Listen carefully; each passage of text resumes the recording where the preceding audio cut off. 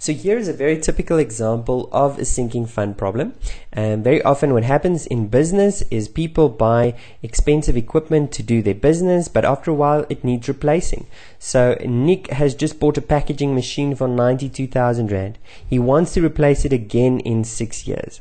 Okay, so the first question is how much will he be able to resell it for after six years? Because after six years, he wants to buy a new one, but he wants to sell the old one to get some finance to buy the new one. Okay, so here we go. How much will he be able to resell it for after six years if it depreciates on the reducing balance method at 21% per annum?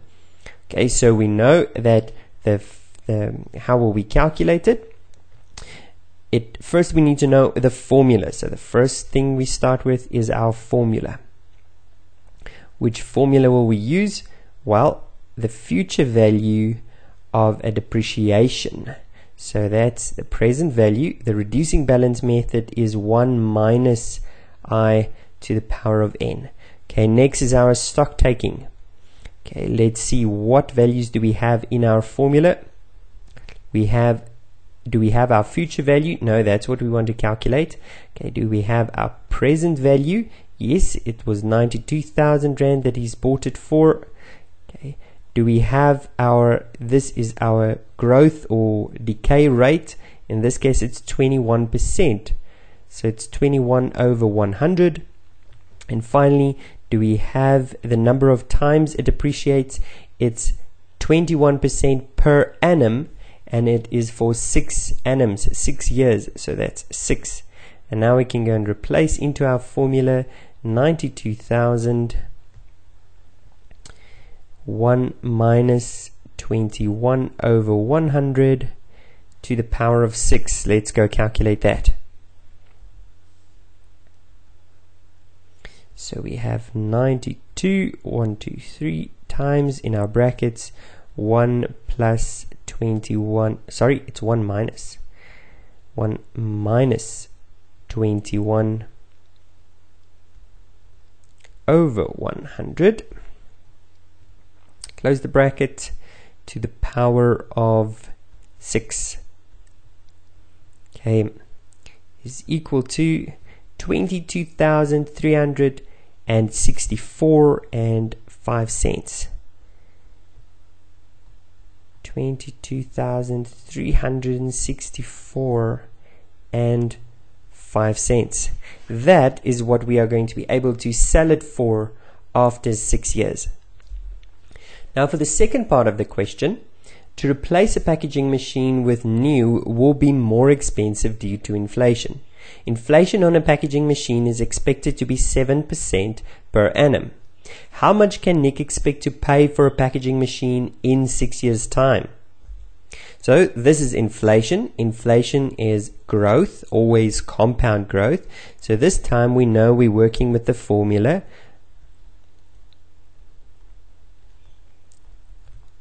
future value is equal to the present value 1 plus the inflation rate to the power of n. Okay, in our stock taking, let me just put ST for stock take. In our stock take, do we have the future value yet? No, that's what we want to calculate. Do we know the present value of the equipment? Yes, it's also 92,000. In this case, I represents the inflation rate, which is 7% per annum. So it's 7 over 100. And finally, N is the number of times inflation will be compounded and it's 7% per annum. So that means it's since it's 6 years it would be 6 we can substitute this into our formula 92,000 1 plus 7 over 100 to the power of 6 and let's just calculate that one. So 92,000 times in our brackets 1 plus this time 7 over 100 to the power of 6. There we go. Our answer is 138,067 and 19 cents.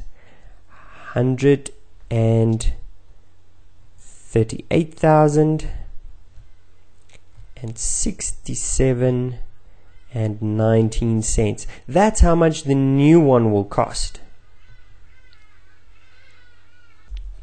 So it should be clear to you that if he sells the old, okay, and for the old, how much did he get? 22 364.05 so for the old he gets 22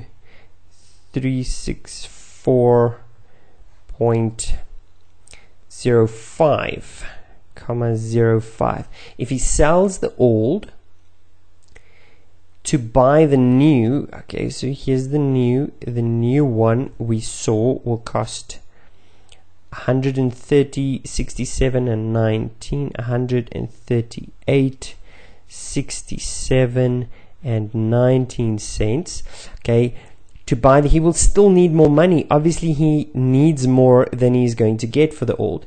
To make up what he will need he starts a sinking fund. Okay? How much should be in the sinking fund after 6 years? Now that is how much will he need still after six years? He's going to need 138 but he's getting this 22,000 so in the end how much will he have? Let's calculate that again. So we have 138067.19 minus that's the new minus the old is 22364.05 and the answer I get 115703 hundred and fifteen seven hundred and three and fourteen cents. This is how much they should be in the sinking fund.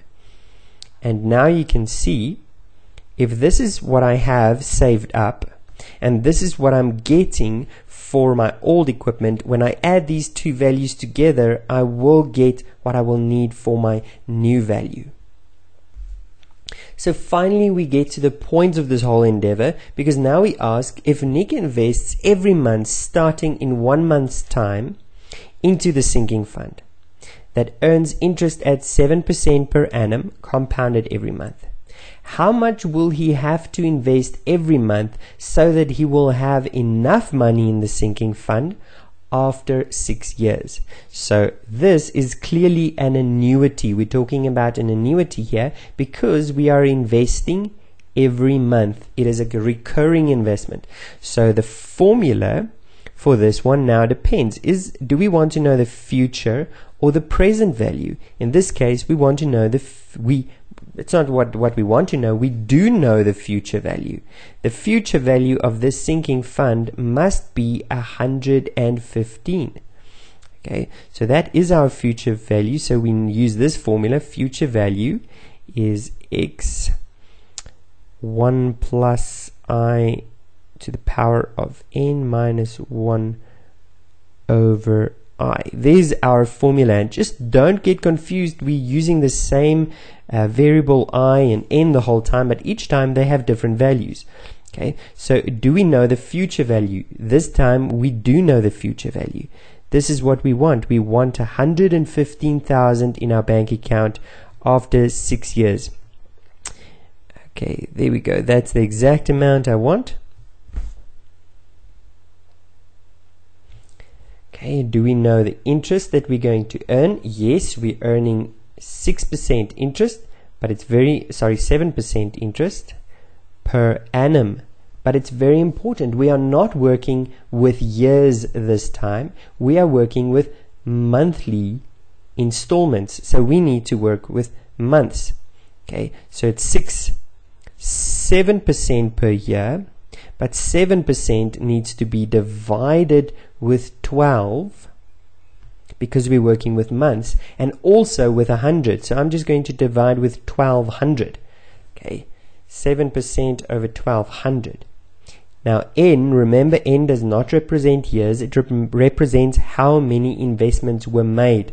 And this, in this case, we invest every month for six years. That means it's six times 12.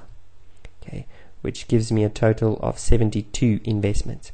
Finally, do we know our recurring investment? No, this is actually what we want to go calculate. How much must Nick invest monthly? So if we substitute all of this, we get, uh, let me use a different color, we get 115, 703, comma 14 is equal to x is unknown. In the bracket, we have 1 plus our interest rate is now 7 over 1200. Okay, to the power of 72 minus 1. All of this is being divided by 7 over 1200. So if I have to solve x, I need to multiply both sides with the denominator and divide both sides with this big, bracket because it's multiplying x. So in the end, I'm going to skip a step or two for time's sake. I'm going to have 115703 comma 14 that is being multiplied with 7 over 1200 in other words, this is multiplying that side and this is dividing that side. And dividing 1 plus 7 over 1200 to the power of 6 minus 1.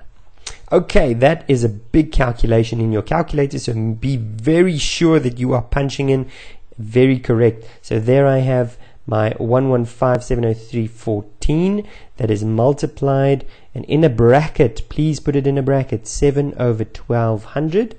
Close that bracket.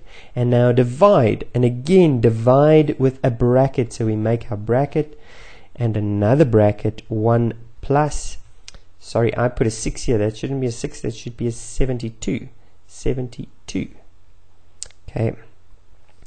1 plus 7 over 1200 close that bracket to the power of 72 minus 1 and my answer in the end is 1, 1 uh, 1297 1297 if I round off my answer comma 68 comma oops, sorry 69 comma 69.